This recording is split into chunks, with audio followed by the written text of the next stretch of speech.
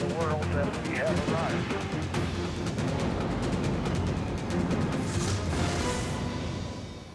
Launch. Turning off to the right, starting. Launched.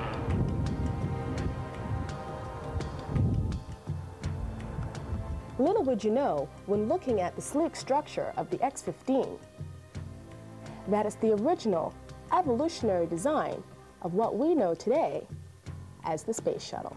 The X-15 actually flew for the first time in 1959, and it flew successfully nearly 200 times, and um, did actually go above the boundary of the atmosphere and into space many, many times, and was able to come back and land on the runway. The five things which really integral to the X-15 program was it was the deve- development of the first winged spacecraft, it was also the development of the first throttleable rocket engine that could actually be restarted and, and run like a regular engine.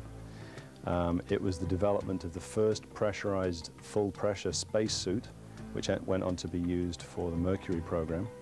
Um, they also had to develop what they called the high range, which was a, a radar tracking system in the California desert that was capable of tracking a spacecraft coming back in on wings from space which is still used today uh, for the shuttle.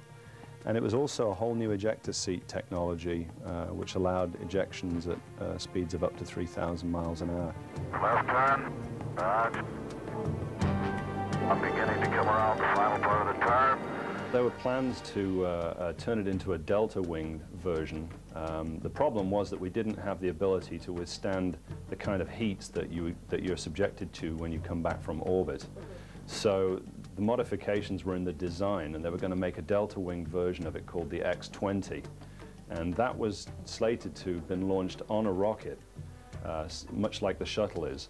Um, and that would have gone into orbit and then uh, been able to withstand the re-entry heats and, and land on a runway. And that was, uh, that was cancelled in 1964, the X-20 project, when uh, everything was, all eyes were turned to Kennedy Space Center and everybody was looking to landing on the moon rather than reusable space vehicles. Your angle looks good, Bob.